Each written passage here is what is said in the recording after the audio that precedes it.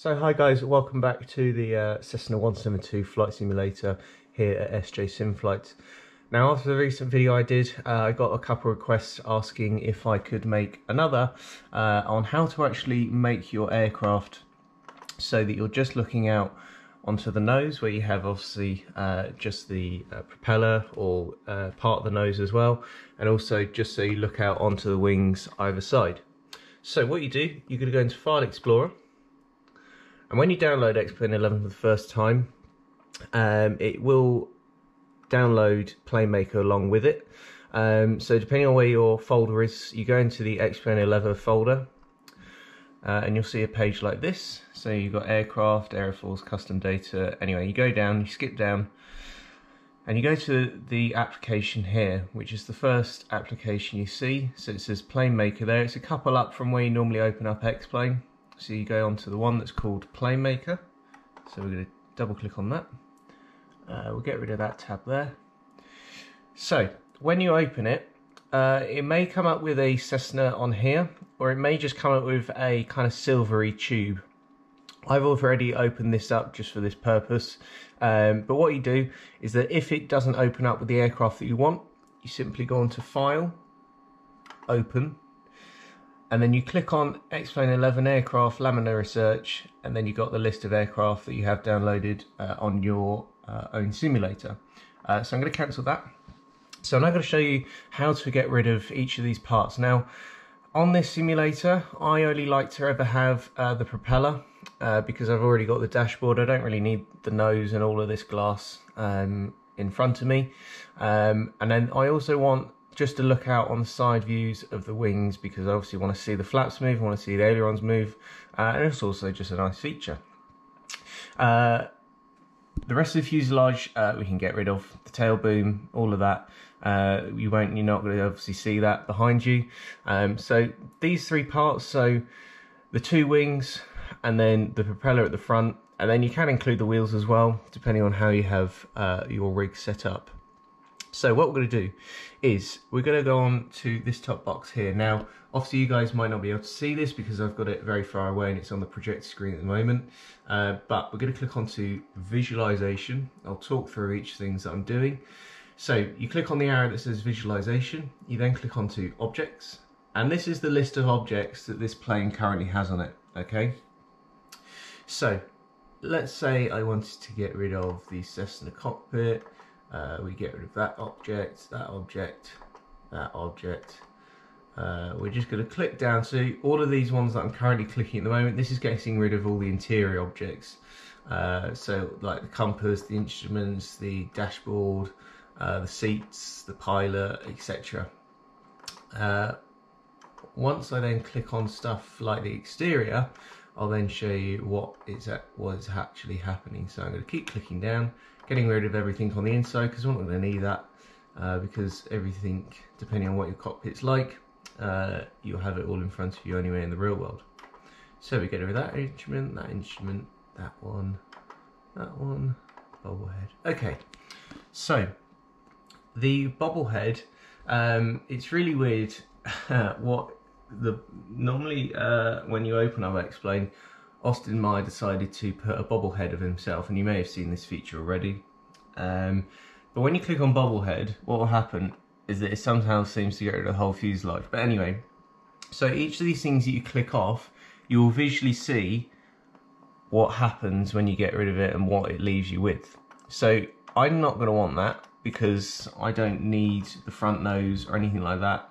Um, I'm only going to want to be looking out onto the wings. I don't want to be seeing uh, the exterior of the aircraft when I look out either side. The fuselage. Now the fuselage, obviously we've just gotten rid of the fuselage, but somehow the, the uh, program thinks that the fuselage is the gear. um, so it doesn't really matter what the name of things is, as long as you can see what you're actually getting rid of. Uh, that's the best thing to do. So you then get rid of that. Uh, I think I've still got the wheels on mine, uh, just because sometimes I like to look down at them. Um, but you can get rid of them. Again, it's not going to matter that much because you're not going to see them most of the time. Fuselage gear. Now the fuselage gear thinks that it's the uh, propeller, which it isn't. So again, we're going to keep the propeller because that's obviously a main thing that we want to be seeing on the front of the nose. Fuselage prop. it thinks it's the wings.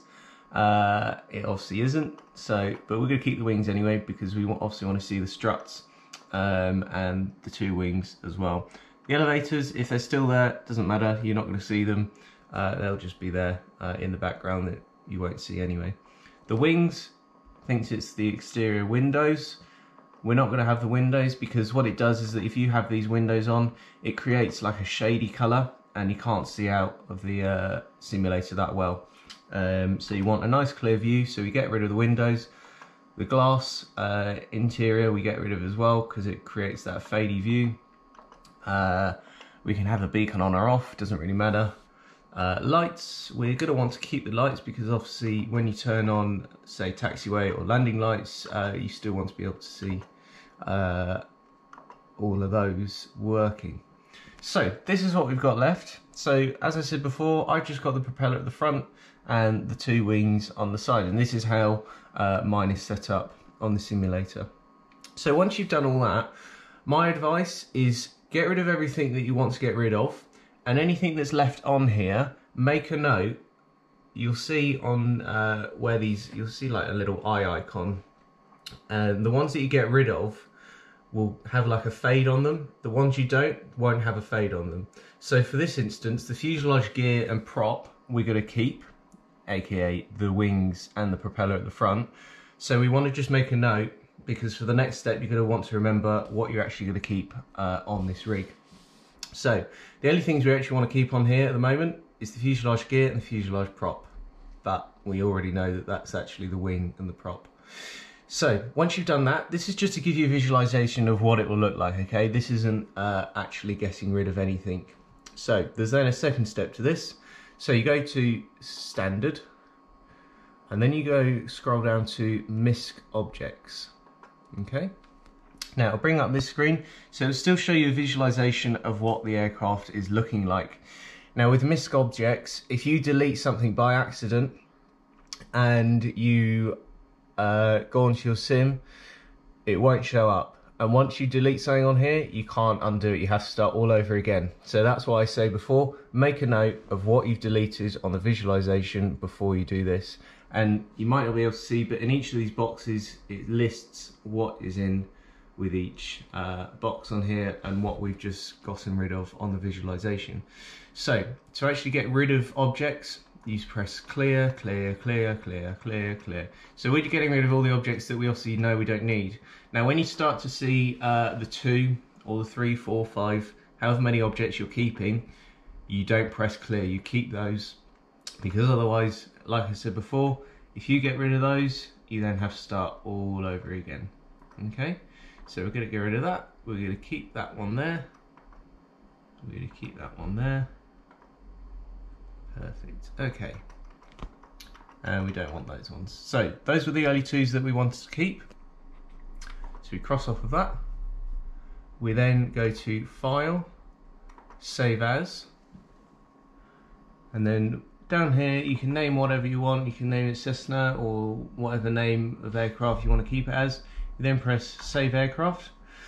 You then go to File and then Quit and I'll now show you the next step to actually opening up X-Plane and what it looks like on the X-Plane software. So welcome back uh, and on here uh, we've now opened up X-Plane. And you may have seen on previous videos I've had these views before. Just pull that door in a bit just so you can see. Um, where when I open it up it gives me uh, not the correct orientation.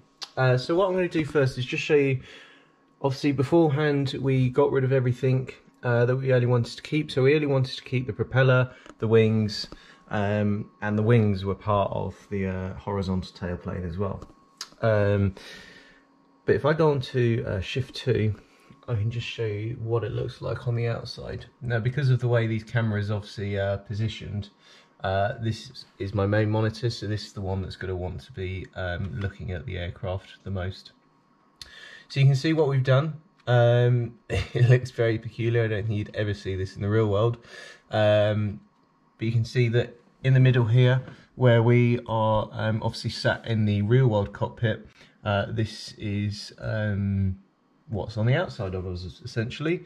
Uh, so you can see I've just got the propeller at the front because I only want to see what's on the front, um, which is the propeller in this case. Um, I've got the two wings, oh, just gone behind a building, got the two wings as well um, with the uh, two struts. Uh, a couple strobes and lights, all of that, because at night time obviously like the strobes uh, obviously reflect off the ground uh, and it gives it a cool effect. So we keep all the lights, um, etc. Uh, but yeah, so this is what it looks like on the outside. Uh, if I then go back to shift 9, so you can see this is what it's like on the inside. Now if I press uh, Q, now Q and E basically spin you around, you can see. So, oh, if I just do that again. So if I press Q, he'll go to the left. If I press E, I'll go to the right. So if I bring it around, and uh, now you can see that we are currently uh, in the centre of the uh, cockpit. So we got the left wing there, right wing there, nice and aligned. And uh, yeah, so we can also go up and down. Uh, you may have seen me do this in a previous video the other day. So you can set it to whatever height you're at. Um, you know, if you're shorter, if you're taller, you can set it to the required height that you like. This essentially, as I've said before, works as a free view camera. So we can go all the way up above if we really want to. But obviously, being a high winged aircraft, we're going to stick below the wings. And I think here's about fine. So if you got any more questions, comments or queries, uh, don't forget to obviously like and subscribe to this video. Uh, but also don't hesitate to message me at SJ Sim Flights.